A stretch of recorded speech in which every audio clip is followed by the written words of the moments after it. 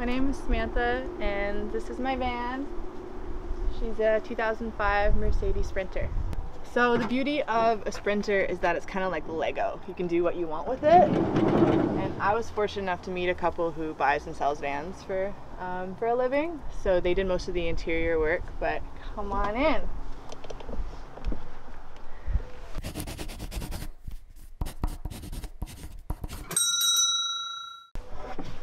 So she's not all finished as far as like cooking and um, washing dishes and everything goes, but it's just the beginning stages. Awesome toolbox here, and I have my uh, Camp Chef Everest stove, which when I get my propane tank, um, this is the hose it'll connect to.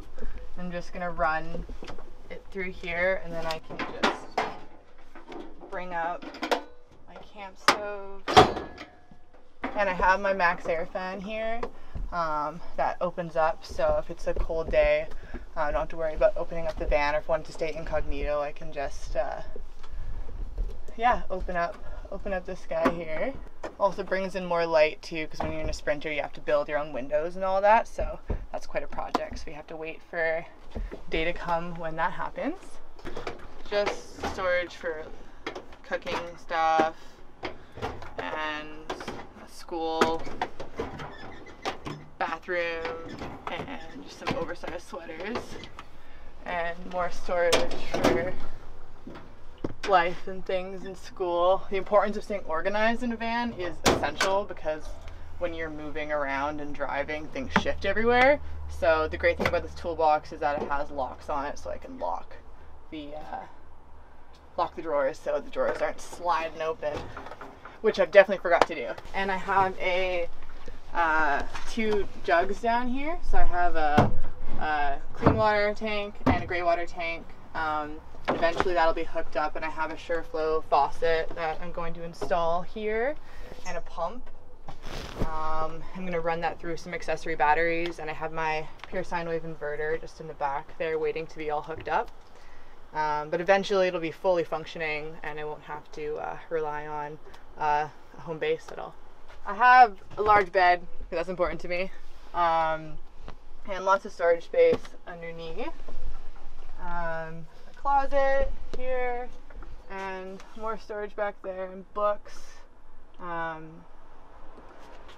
yeah, all my school things, keeping life together. So these seats, two seats here, have my, my little desk that I work in. Um, it's a little sticky, needs a little sand, but um, it's great for student life. And then underneath here, I have a toilet um, for emergencies. Um, it has a tank on the bottom that I can just um, uh, put into the. Uh, haven't quite figured out the system yet. I'm not too sure where I put it. I guess in the toilet somewhere. More storage under here. I'm gonna put the batteries when I get them under here and hook it up. What made you want to live in the van in the first place? I was inspired by um, my a few friends. One of my friends who's saved up a bunch of money and now has a down payment on a piece of property. And that was my biggest inspiration because I'd realized I'd spent $14,000 in rent in the past year and a half here in Victoria. And um, I invested 20 grand into um, this Sprinter.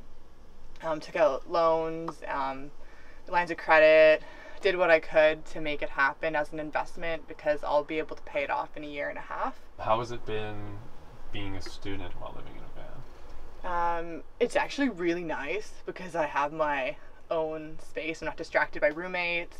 Um, yeah, yeah. I'm. We were fortunate to have really great Wi-Fi at the house, so it extends like the 5G out here, so I can still work on the computer. So we're ramping into some cold weather. What are your plans for staying warm while in the van? Well, I'm fortunate that I have a house hookup right now, so it's my little space here. Um, doesn't do the best job, but Victoria, it's manageable. It doesn't get too cold in Victoria, so we're not uh, I'm too worried. And then when I am um, doing van life totally without re- relying on a home, um, yeah, getting some sort of pro- propane system going. Haven't looked into that too much, but um, I'm also run really warm and I have hella blankets and a really comfy bed. And the van, the Sprinter is really well insulated. So, and having no windows really keeps the heat in. Um, what are some challenges that you've found so far living in a van?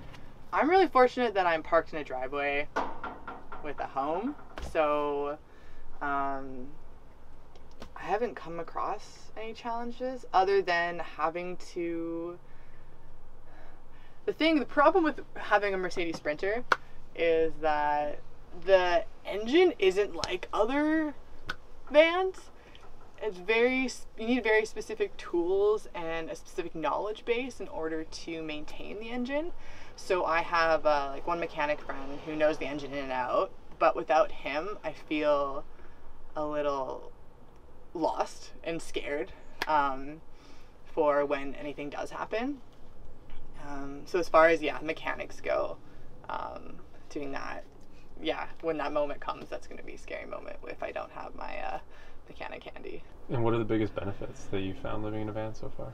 freedom freedom and like the the hope of not paying rent in like a few years um, and because i'm a student i pay $250 a month to park my van in the driveway and to share the space um, so i'm still in the end like saving money eventually um, so yeah saving money freedom and just doing it differently living life differently um, than other people um, because we've fucked up as a society and we need to start making changes and so this is what i feel like i can do.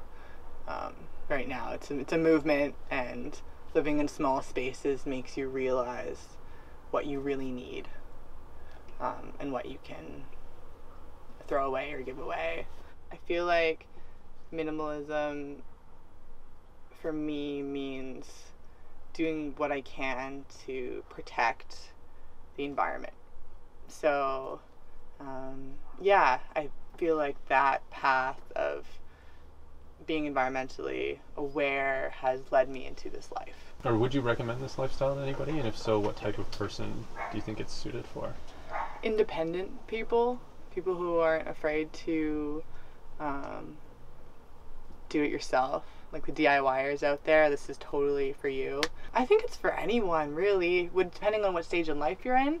You can even like have a van and um, use this as your method of traveling and staying instead of like going to like hotels or like having to worry about like booking it at a hostel or anything. If you have this, whether you're with like friends or family, um, you always have a home. So home is super important to me. It's like one of my number one values. If you want to rely on yourself and you want to stop relying on other people, I feel like besides my mechanic obviously, um, I feel like van life is for, for you. What would you say to somebody that's already looking into this and really thinking about doing van life?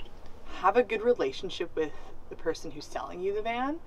Know the van in and out. Get it a first opinion, a second opinion, a third opinion, a fourth opinion, so you're not getting ripped off. So you know the engine is um, in good working order.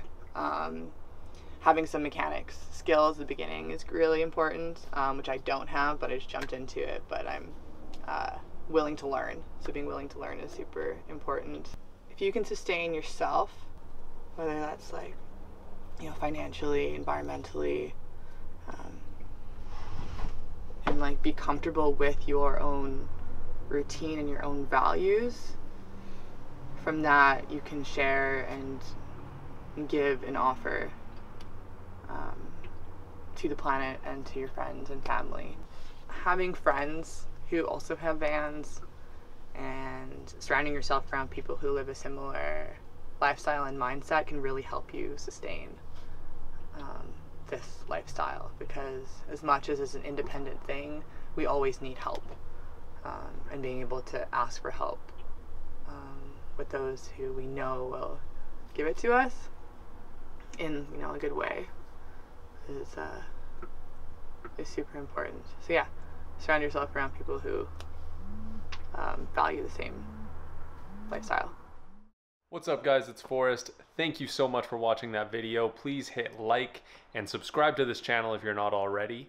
Right below me right now is a playlist of a whole bunch of videos I've done on alternative dwellings, vans, sailboats, tiny homes, all sorts of good stuff. So go ahead and click that link and continue watching. Thanks so much and I'll see you next week. I upload every single Monday at 7:30 a.m. Pacific Standard Time.